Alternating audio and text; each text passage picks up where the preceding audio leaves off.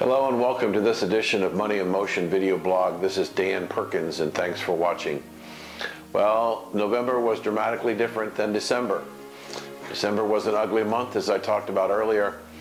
But on the other hand, uh, for us, no, uh, January was a terrific month. Not so much for the markets. In fact, this chart you're about to see will show that the the Dow Jones was off about 4% for the month and the S&P 500 was off around 3%.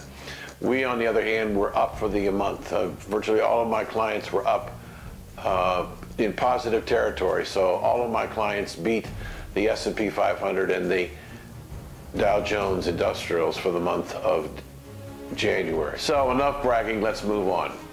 Uh, what else happened in the month of January? Uh, as you can see by this chart, crude oil dropped another 10%. Uh, rallying today, this is being recorded on Tuesday, uh, February 3rd. Uh, I think it's in a trading range between 45 and 50. Uh, but I do believe before it's all said and done, crude oil will try somewhere in the neighborhood of 30 to $35 a barrel. I believe we have yet to see the full impact of the decline in the price of crude oil. For example, uh, the average price of imported crude oil for the month of November was just shy of $89 uh, when crude oil was trading in the low 50s. Uh, now we had a trade for most of January in the 40s. Uh, my guess is that we're going to see another drop at the pump. Uh, we are approaching $2 a gallon on a national average, which means we have some more and some less.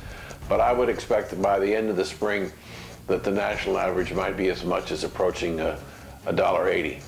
I don't agree with the uh, Saudi uh, and the OPEC oil treasurer that we're going to go back to 70 to $80 a barrel by the springtime. There's just way too much supply of crude oil in the marketplace. Um, and it's there because of one reason. The supply of crude oil in the marketplace is because OPEC decided on Thanksgiving Day that they were not going to cut their production from 30 million barrels a day. I think they have told us afterwards that the reason why they're keeping production levels high and driving down the prices is they want to discourage American industry from expanding its oil production and natural gas and alternative energy sources. I want to spend a moment talking about volatility.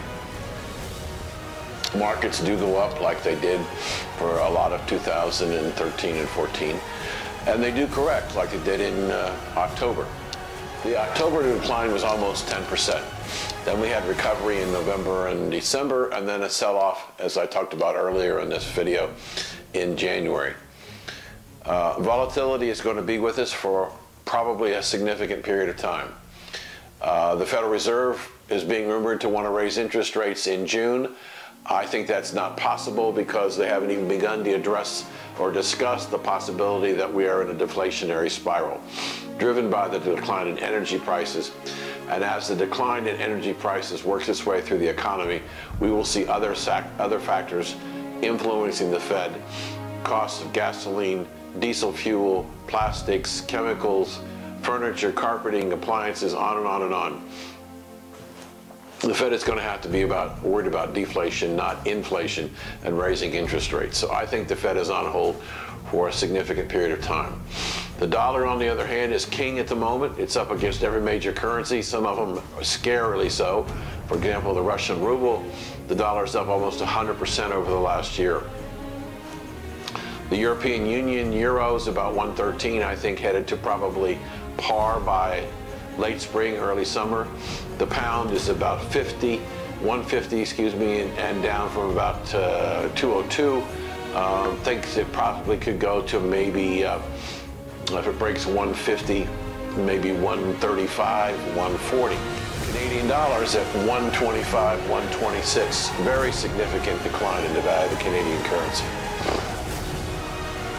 So what's going on is increased volatility as governments around the world try and figure out how to stimulate their economies by lowering interest rates. Lowering interest rates puts pressure on the currency, and the American dollar seems to be king again.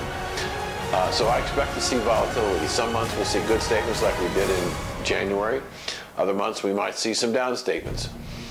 What's important is when the market does go down, how quickly does the stock or portfolio recover? The fact that we outperform the markets in, in January says we, we must be owning the right things. So I know it's very disconcerting to have all this volatility, but it's a fact of life and it's going to be a fact of life for some period of time. I'll do my best to make sure I can dampen it from a portfolio standpoint as much as I can. So that's it for now. Thanks for watching. And if you have questions, please feel free to give me a call or send me an email. And if you got friends who are looking for a real manager, this is Dan Perkins. Thanks.